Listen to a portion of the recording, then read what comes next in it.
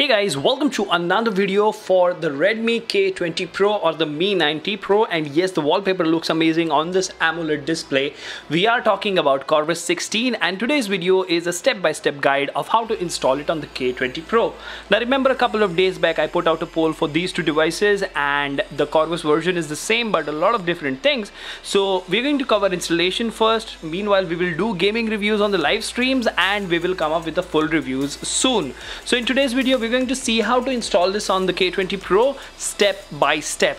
But before we get into all of that, if you haven't already, please subscribe and hit the notification bell icon so that you get notified every time I upload a video. In the description of each video, you will find a link to our Telegram community where you can join us and support to get to a thousand members. Last but not the least, if you think the hard work is worth the effort, please click on the join button and support the channel. Now without further ado, hello awesome people. Welcome to Phone Ops. My name is Kailash. Let's get going.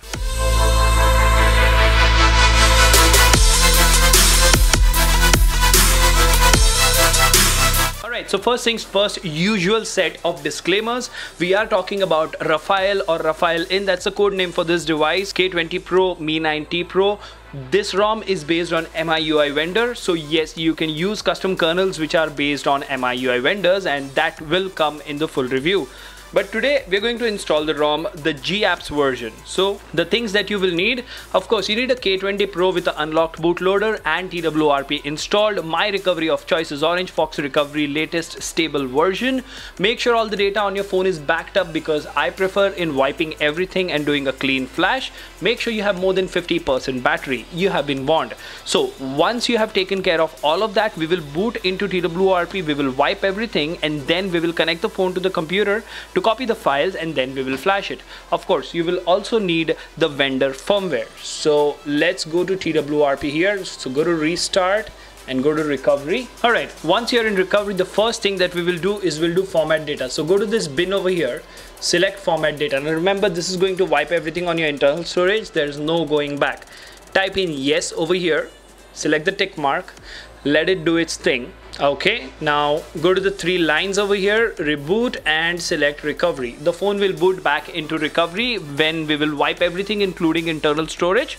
Now some of you might argue that this is not necessary every time but I do it in a way wherein you would not have any issues. That means wiping everything and starting afresh. That is how you give any ROM the best chance. So go to the bin again. Dalvik cache system vendor data internal storage we will wipe everything. Okay. Now the phone is clean. Absolutely clean. The next thing to do is connect the phone to the computer copy the rom file and the vendor firmware. If you want to stay decrypted you can flash dfe if you want to stay rooted you can flash magisk that's your call. We're just gonna flash two files. All right, so now the files have been copied to the phone and everything is clean. So the first thing that will flash is the vendor firmware, add to queue and flash Corvus version 16.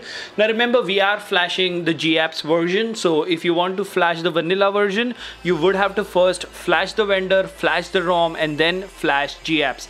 And after that, all your usual stuff, if you want to stay decrypted, flash DFE. If you want Magisk access, like root access, flash Magisk.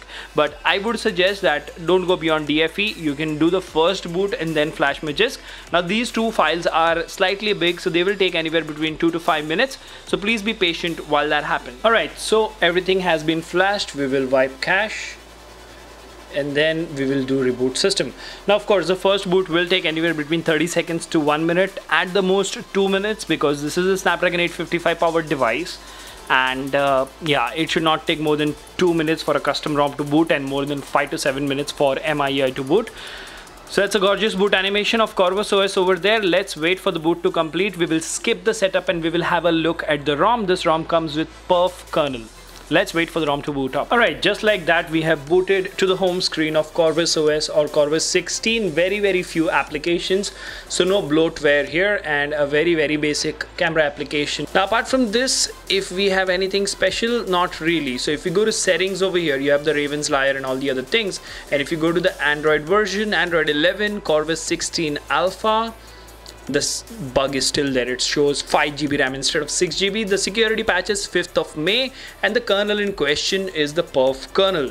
Now we will flash a different kernel because this is a MIUI vendor ROM. We will be doing a gaming live stream on this and the Pocophone F1 as well. I'll be using each of the devices for a day or two and I will be doing a full review with a lot of changes and a lot of tests.